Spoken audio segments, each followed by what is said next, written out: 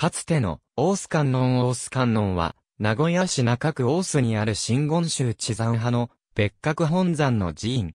本尊は、聖観音。次号は、北野山新福寺法商院である。宗教法人としての交渉は、法商院だが、一般には、大須観音の名で知られる。日本三大観音の一つとも言われる、観音霊場である。名古屋七福神の一である、布袋像を安置する。寺内に、古事記の最古写本をはじめとする貴重書を多数蔵する、新福寺文庫がある。そもそもは、研究年間に建立された、尾張国中島郡長所大須にあった中島観音が発祥であるという。現行4年に、後醍醐天皇によりその地に、北野天満宮が創建される。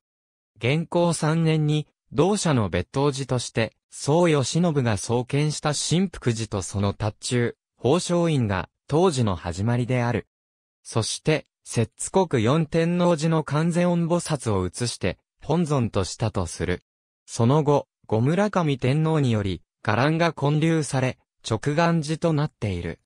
三代目住職である、任湯法神老の時には、治療一万国となり、伊勢、美濃、尾張、三河、東東美、信濃六カ国の新五二州寺院を末寺としている。戦国時代には、織田信長により、治療後百国が寄進されている。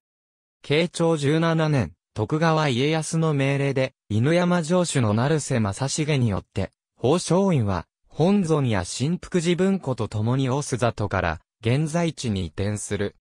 文化12年には五重塔が建立され、空海が掘った愛禅明王像が五重塔内に安置された。1892年3月21日には、境内にあった宝生座裏手からの出荷により、本堂、五重塔と仁王門を消失した。同年4月には、大須の大火で消失した、本堂、五重塔、仁王門を再建するため、再建寄付金帳という帳が書かれた。帳の内容には再建のために、本堂、五重塔、仁王門の伊達地割り図が描かれ、本堂、五重塔、仁王門に関する再建内容が五丁で記されていた。大須大火後に本堂と仁王門は再建されたが、五重塔は再建されなかった。太平洋戦争中の1945年3月19日の名古屋大空襲で二度目の消失。戦後の1949年に仮の本堂と仁王門が建てられ、大須の人たちや関係者から大須のシンボルである大須観音の早期の正式な本堂の再建が期待された。しかし、資金難で再建が大幅に遅れ、1970年に鉄筋コンクリートで再建し、現在に至る。また、当初の再建計画では、回廊や五重塔も建設予定であったが、建設資金として当てにしていた錠剤がなかなか集まらず、建設は中止された。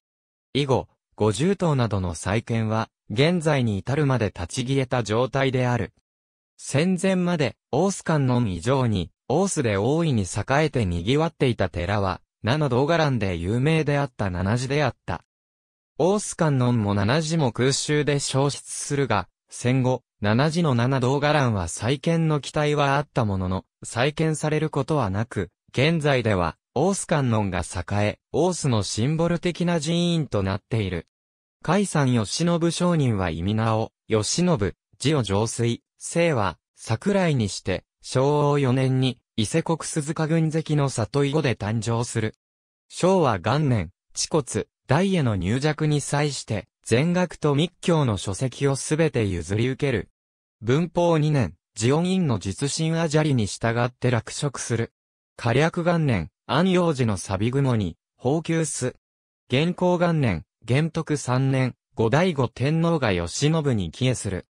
元光三年、後醍醐天皇より、北の天満宮別当職を廃止新福寺の解散をなす。昌平十年10月25日、義信が入弱せられる。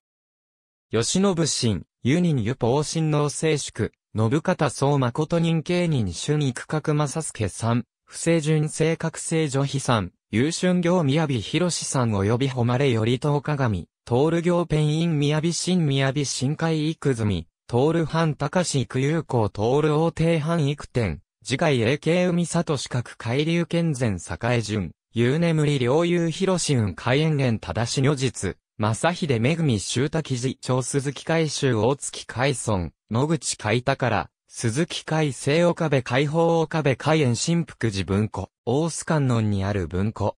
第五次、根頃寺と共に、日本三教像の一つ。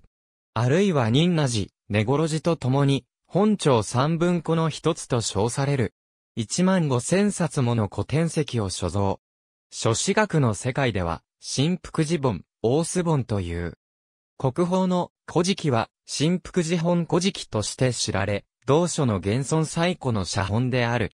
新福寺本古事記、転居、2000年までに、指定の国宝、重要文化財については、国宝、重要文化財大全別館による、ウェブ文献。ありがとうございます。